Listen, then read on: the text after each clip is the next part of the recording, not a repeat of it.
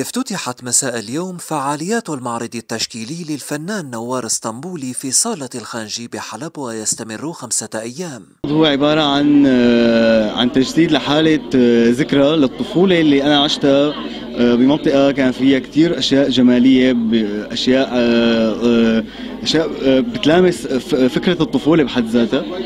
حاولت أستحضر هذا هذا الإحساس عن طريق أماكن أنا مريت فيها بطفولتي.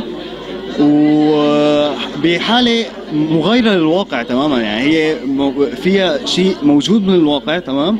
بس بحالة رومانسية خليني أقول أو خليني أقول بحالة آآ آآ انطباعية نوعا ما. عرض نوار إسطنبولي هي التجربة الأولى له بعد تخرجه.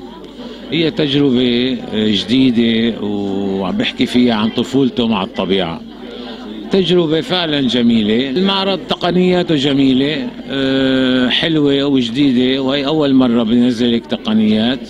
والمناظر اللي شغل عليها كلها من ذاكرته الذاكرة الأساسية للمناظر الطبيعية. ألوانه شوي غامقة يفضل أنه كانت شوي تعطينا كشفية أكثر يعني تعطي إضاءات أكثر. هلأ هي تجربته الأولى أنا بعتبرها أنه شيء جميل.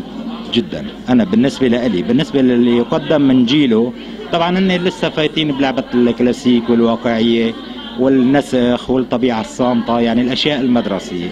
هلأ هو أنا بشوف ريان إنه عمل قفزة جميلة فات مباشرة على التجريد.